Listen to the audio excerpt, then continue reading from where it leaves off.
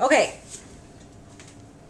I have my book and I used this stamp set from Hobby Lobby. It's uh, a Princess Disney one. I got on the clearance rack.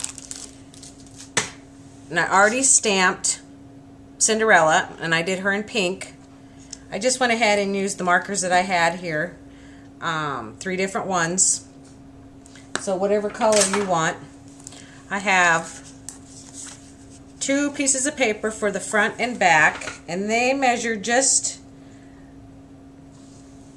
uh, I would say two and seven eighths of an inch square because this is a three inch book but I don't want them to hang over or whichever. So the first thing that I'm gonna do is attach oh, I use the StazOn ink. I'm going to attach the ribbon to the back.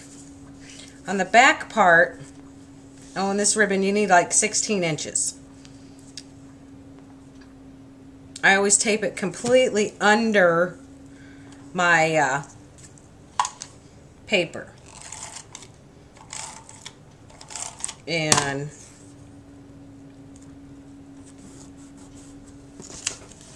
So, corner rounder. Gosh, I'm having a hard time getting it on the paper. What is wrong with me tonight?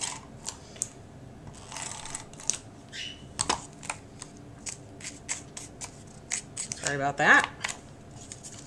Okay.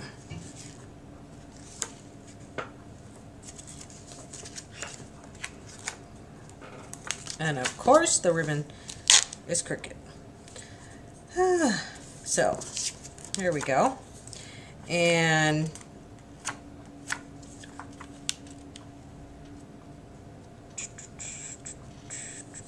now on these other albums, I sponged the edges. But on these Disney princesses, I did not. So,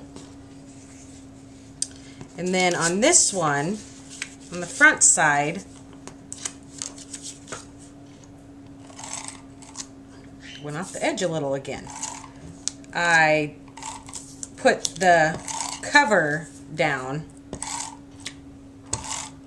and I put the ribbon on top of the cover. So there is our cover.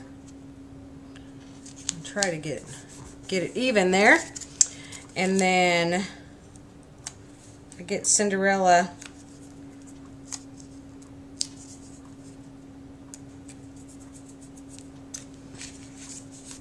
get her figured out where she's going to be for sure.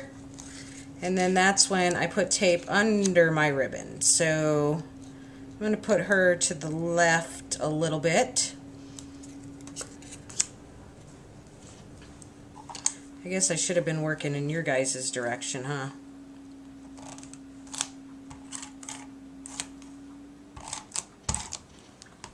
Just put a chunk there.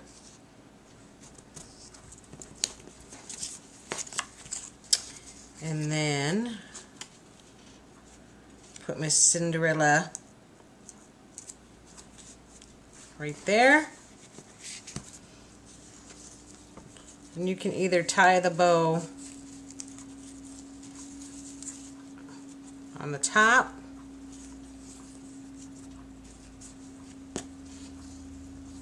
Now, since I'm trying to do this on camera, like everybody else, it's not going to turn out. Oh, it might. Looky there, looky there. Upside down and backwards.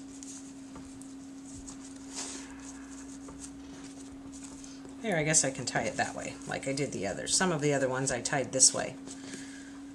And then just trim it off. So there is the Mini Mini Wallet album. So if you have any questions, let me know. Thanks.